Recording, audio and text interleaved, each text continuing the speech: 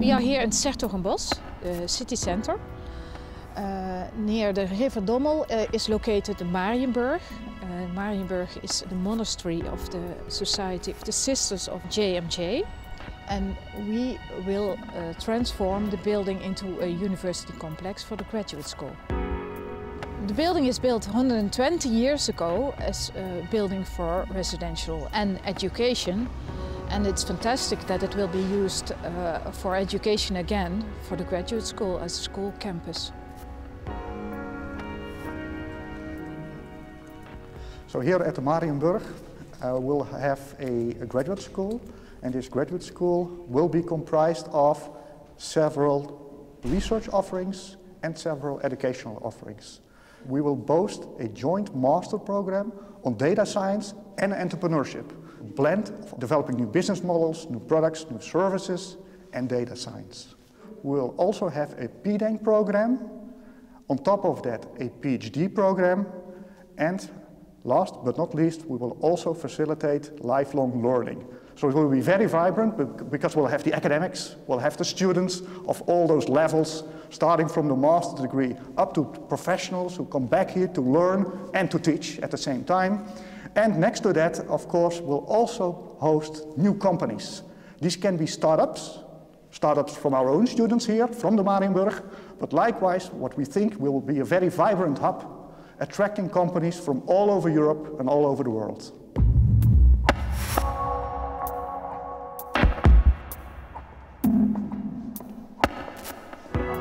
This is the chapel, the heart of the monastery.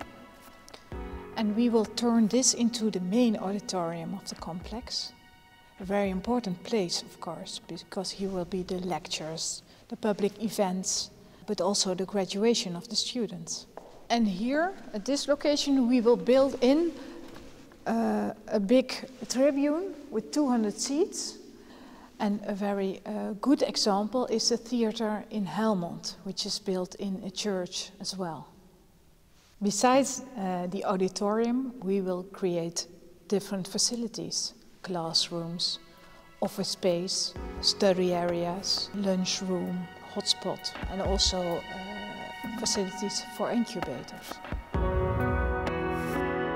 I think it's a beautiful place. It's a very authentic place that has always hosted students.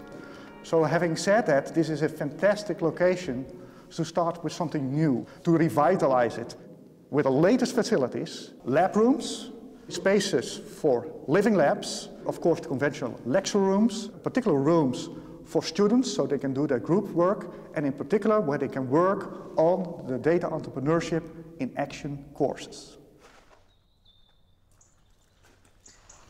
This is the courtyard of the monastery and we will turn this into the central meeting place of the school by adding a glass roof over it and adding different terraces at different levels the central meeting place where students and staff meet, where they have lunch, where they study at these different levels. We will add new constructions, modern furniture, and together with these beautiful old walls, we can create a very uh, lively and nice atmosphere in this atrium. Visitors of the Marienburg, which can also be national scholars, international scholars, PhD students, uh, students, they could all stay here at the Marienburg where we'll revamp these rather old dorms for sisters into very modern dorms where they can stay overnight and they can work together and live together in fact with the community of data scientists. We have chosen for the Bosch as the place to put the graduate school on data science for a number of reasons. One of the most important reasons is the fact that the 's-Hertogenbosch area already hosts a very vibrant community of young startups and of IT companies, like the HAS and like Avans, and we want to collaborate with them, in fact, later on in the Data Science Initiative.